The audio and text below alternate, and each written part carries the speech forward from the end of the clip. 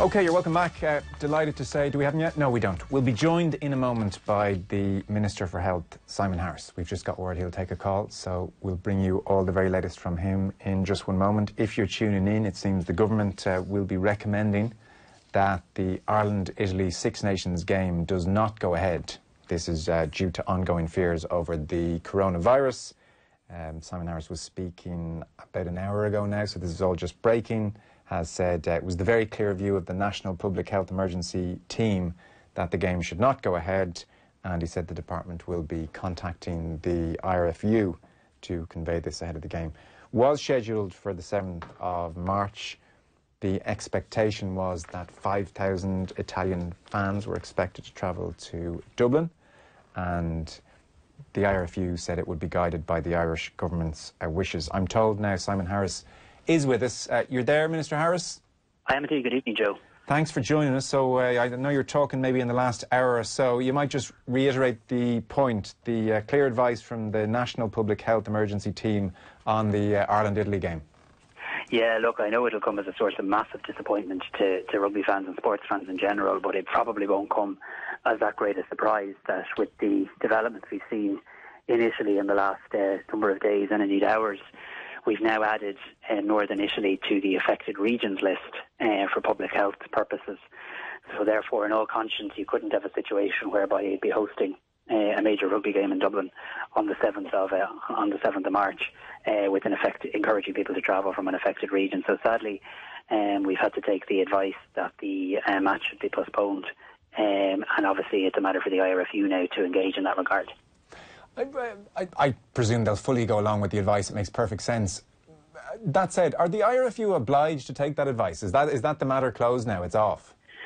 To be to be very honest, I hope and don't expect we'll get into that space. um, I'm, I'm I'm I'm I'm sure if I'm sure if government needed to, it could. But in fairness to the IRFU, I don't I don't I don't sense uh, any response or reaction um, like that from them. I mean, I've I've very much seen their public statements in recent days where they're where they're talking about uh, following government advice. And of course, of course, everybody in relation to um, sports and sports fans will want to keep everybody safe. So I expect the IRFU will follow government advice, and indeed I've heard them say that publicly. These are not decisions, and these are not decisions that are taken lightly uh, in any way. But public health obviously does need to trump um, every other consideration. And the idea that you'd be hosting a game in Ireland where you'd be encouraging other people, into two games where you'd be encouraging other people to travel mm. Um, from an affected region um, would just not make sense from a public health point of view. Okay, so that will also apply to the under 20s game against Italy and the women's game that weekend?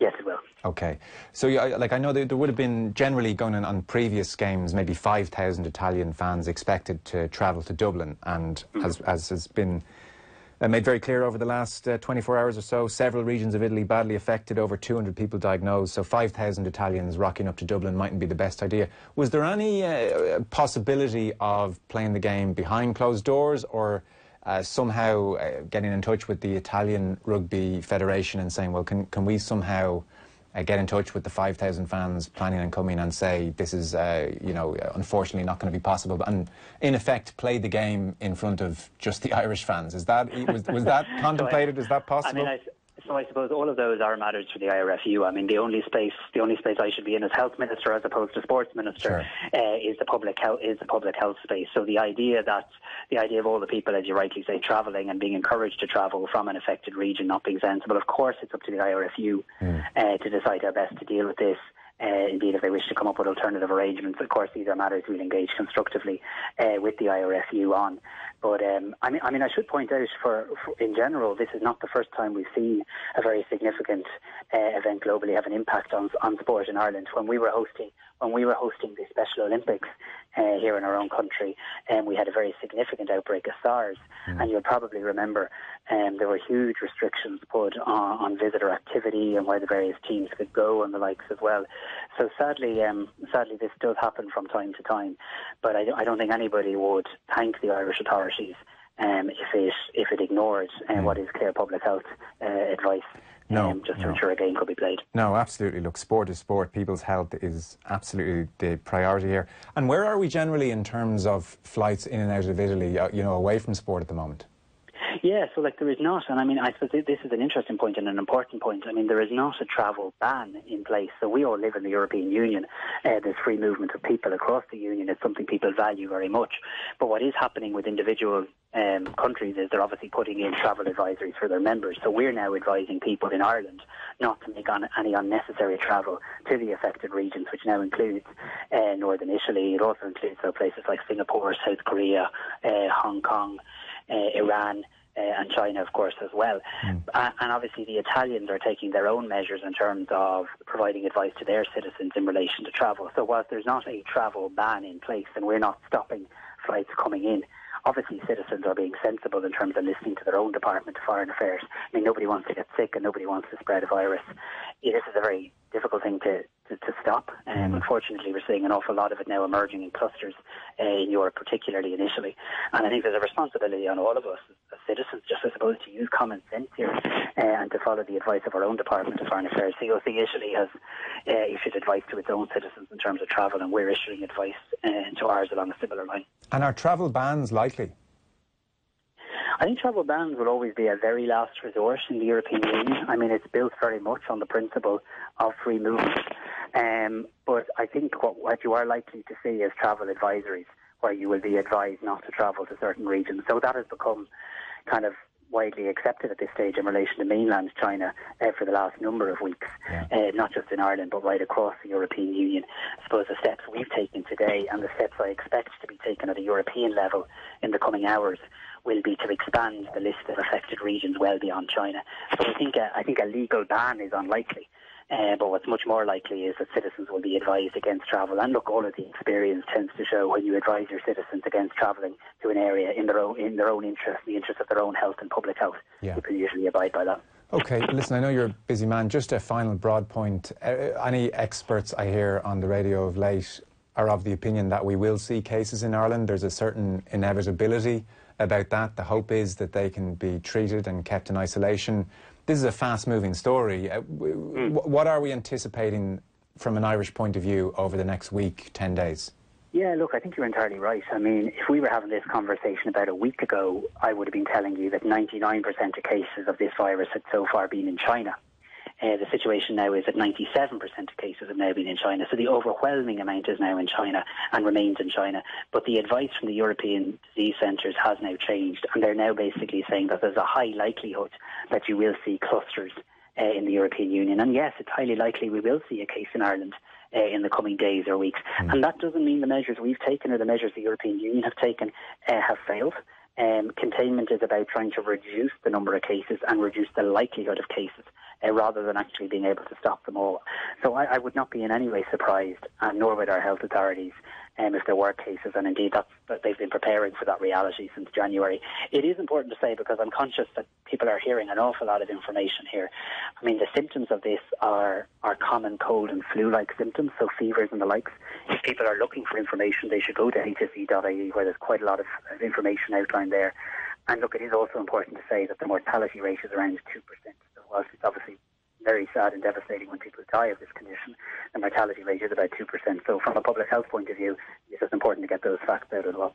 Okay. Simon Harris, thanks so much. Much appreciated. Thanks, Joe. Good to chat to you. Bye. Uh, Simon Harris there. Peter O'Reilly of the Sunday Times listening in. Hi, Peter. Hey, Joe. How's it going? Very well. So, it's 2001 all over again. The Italian match is uh, effectively off there. I mean, Simon Harris did not immediately shoot down the, the possibility of maybe this match going ahead without the Italian fans. But I suspect, I don't know if you've heard either way, I suspect the IRFU will take the advice in full.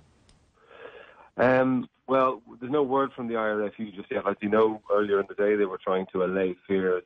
Um, I was in contact with someone in the the Irish camp, uh, and they've heard nothing official yet. That that was only a few minutes ago. Right. Um, but you know, matter of public health, Minister of Health, etc., etc. Um, I suppose there would be a bit of um, lobbying going on for, the, for for that suggestion that you made there. There might be, according to one travel agent I spoke to, there would be maybe 2,000 Italian fans kind of due over for that game. Right. So you could have a situation where they may be asked not to travel and the, the game might go ahead. But maybe we're clutching at straws there. I don't know. Yeah, and then obviously England have to go to Rome in the final round of the championship. So this whole thing suddenly all a, a, a, bit up in the air. I don't suppose we could just say to the Italians, can we both have five points and let's maybe just, you know, go with that. Yeah, that would go down well, I'd imagine, yeah. Uh, well, so, I, I, well, I wonder then, in, in 01, it was September that the foot and mouth games ultimately were played, wasn't it? Yeah, um, remember it well. It was the first season of the um, of the Celtic League, uh, 0102. Um, so it, it, was, it, was, a much different landscape back then, Joe. It's nearly, nearly 20 years ago. Mm. Um, the Celtic League, which is now the Pro 14, it was a much smaller affair. So there were gaps in the calendar. Um, you know, the professional game was still very, uh, very young at that stage. So uh, Ireland had to get games in uh, in Edinburgh, in Cardiff, and then uh, we played England in the final game at home, which was um, everybody remembers as the day that we spo- uh, that Ireland spoiled England's Grand Slam. Mm. Um, but yeah, slightly more innocent times. Um, and as I say, there were, there were, more gaps in the calendar at that stage. We're currently in the middle of the most cluttered season on record because it's a, a Rugby World Cup season. Mm. So the logistics involved in rescheduling a couple of games uh, in the Six Nations are, God, it's, it's, it's uh, horrible to think about. Yeah. And even thinking off the top of my head here, say France go to Murrayfield, win, say France beat Ireland in Paris, Grand Slam done, competition effectively over, regardless of what England do in Rome or Ireland do at home to Italy. Then there's an argument is there a, a, pointlessness to these games? And I suspect the answer from the RFU and the Italian Federation, particularly the RFU, who will want the, the, the gate receipts and maybe broadcasters yeah. as well, is yeah. the game goes ahead, and then I don't know how much appetite there is for an utterly meaningless Ireland Italy game in August, September time. So uh, a real mess. It is. A, it is a real mess, Joe. Um, but that that um, set of circumstances that you outlined there, it's, uh, it's perfectly possible. Um, France would be will go to go to Edinburgh as favourites, and, and they'll be favourites against Ireland as well in the final game. Mm. So, um, but for the integrity of the competition, you've got to try and get those fixtures in. You know, there are enough asterisks beside 2001 as it is, this would be even more complicated uh, if we went down that route. Okay. Well, listen, thanks so much for joining us. I suspect you'll be working on a 2001 nostalgia feature in the Sunday Times uh, very soon. so uh, th- thanks so much, Peter. Appreciate it. Cheers, Joe. Thanks. Cheers. Peter O'Reilly there of the Sunday Times. So there you have it from Simon Harris himself. The uh, firm advice to the RFU will be game does not go ahead. They may, they may, we don't know, they may entertain uh, some possibility, if the RFU push for it, of a game with no Italian fans. How enforceable that is, I don't know. So we will. He, he didn't shoot it down though straight away, did he? Simon Harris, no, he didn't. He said, "I'm not the minister for sport, but this is the medical advice." Um, he's probably not too sure how realistic an aim it is to prevent the Italian fans from travelling. Peter Riley, interestingly, they're saying 2,000 as opposed to 5,000. Maybe there is a way.